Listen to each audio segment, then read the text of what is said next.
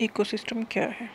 Ecosystem का मतलब ये है कि जो लिविंग ऑर्गेनिज्म है और उसके सराउंडिंग जो भी चीज़ें हैं, उस, उनके बीच में क्या रिलेशन है? या उस, एक दूसरे पर कैसे वो डिपेंडेंट है? तो ये ये इकोसिस्टम वह एक दूसरे की उन्हें ज़रूरत पड़ती है। तो all plant animal and human और interdependent on each other plant को एनिमल चाहिए एनिमल को प्लांट चाहिए और और ह्यूमन सब मिलके ही एक दूसरे के साथ मिलके इकोसिस्टम बनाते हैं। तो एक दूसरे पर डिपेंडेंट हैं। Relation between the living organism and their surrounding living और देयर सराउंडिंग के बीच जो रिलेशनशिप है वो बनाता है ecosystem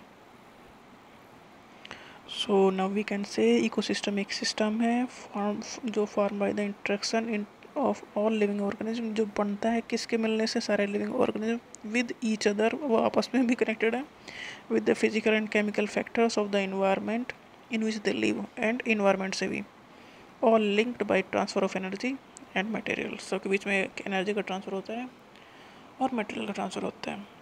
इस तरह से बनता है इको सिस्टम इको सिस्टम का मतलब ये है कि लिविंग और नॉन लिविंग के बीच का जो रिलेशन है, जो जो डिपेंडेंसी है, वो मिलकर बनाता है इकोसिस्टम ये क्लास सेवन का जोग्राफी चैप्टर फ़र्स्ट इन्वायरमेंट है।